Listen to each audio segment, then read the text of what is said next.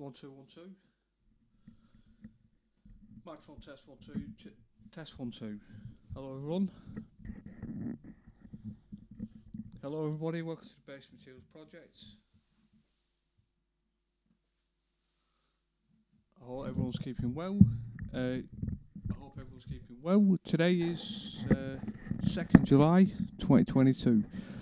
So uh, today we're going to have a quick discussion about the AMD build. So we've upgraded the chip. It's a Ryzen 5 uh, 4550, brand new chip, costs you about 110 pound, and we paired it with the AMD 6500 XT, and we've got a FreeSync monitor as well, an AMD free FreeSync monitor in the funky AMD case. Uh, the performance on Call of Duty is absolutely amazing, miles better than the Intel i5 12th gen. Uh, the motherboard can share the RAM with the graphics, uh, and uh, the performance is pretty uh, exceptional. So the prices turn out to be around 750 quid, Great British pounds, including a Windows operating system. So uh, there you have it, a good bit cheaper. So that's including a, a 1080p gaming monitor as well. That goes at 75 hertz, 8 gigabyte of RAM, humble amount of RAM, uh, 400 watt power supply. Uh, I can't remember if it's a gold one or a platinum one. But uh, that being said, the power budget less around 400 watts.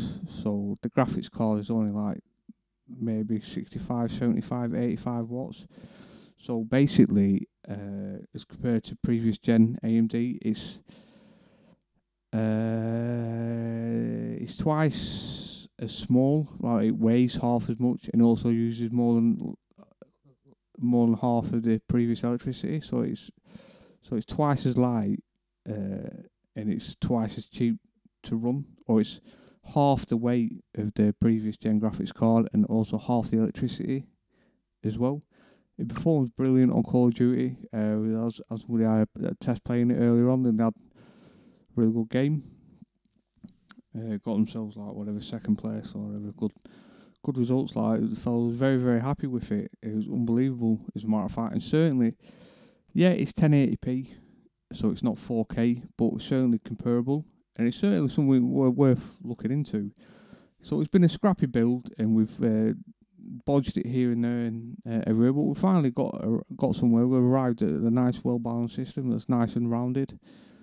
Uh, to double check the frame rate. It's something like uh, 79 frames per second, which obviously isn't super duper or anything like that, but it's also fantastic. Like it's also really, really decent. I'm pretty competitive for the price as well. So your next you know, your next level's up obviously CPU, five hundred pound CPU. So again, that's one central processor. You could almost build the box only uh, at this spec for around five hundred and fifty quid, all in. So you can either build an entire entry level 1080p gaming PC, or you can buy the latest AMD flagship chip or the latest uh, i9 flagship chip.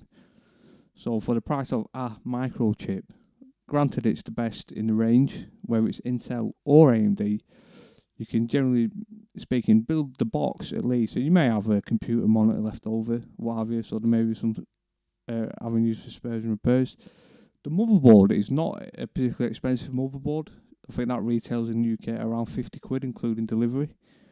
Uh, we've had, uh, had all sorts of issues with this build, and we finally uh, upgraded the BIOS on it as well. So we flipped through a few BIOS versions, and uh, pretty decent, really. It actually plays Call of Duty better than the i5 12th generation, so with the same graphics card. So we swapped the graphics cards between the units, and uh, the AMD one is flying. Like it's, it's really compatible, and there's a lot of balance, really harmonious. It doesn't go too hot or too loud, what have you, and it's okay because the monitor is an AMD FreeSync monitor. Granted, it's only a 75 hertz monitor, but overall the experience is really, really good, really, really fluid. Uh, fantastic, really. Uh, I'm well surprised, uh, actually, at the end result. That yeah, you, it is a lot cheaper, and uh, obviously the i5, the 12th gen i5, we use for 4K, so that's pulled into a 4K monitor. Uh, so, and we swapped out an old 4K graphics card for the 6500 XT. A lot of people were complaining, like the chipset and combo. However, for the value for money, I don't really have too much to compare it to, but certainly for the price, it's pretty decent. So that's it for today's news. Uh, getting cracking on. We're in uh, yeah, we're in July. Uh, so I no doubt there was something coming up. But yeah, the AMD celebrated AMD build with AMD case, all AMD parts. it works brilliant, miles better than the Intel 12th gen, for miles cheaper. Uh, all in a good 350 quid cheaper. So make it that uh, what you will. Obviously, uh, we haven't tested it with Adobe products and stuff like that, so separating out the units and just getting back to it. All right, so yeah, once again, uh, uh, like and subscribe. Please visit the website www.thebasicmaterialsproject.com for more info. Uh, all right, thank you very much. See you next time.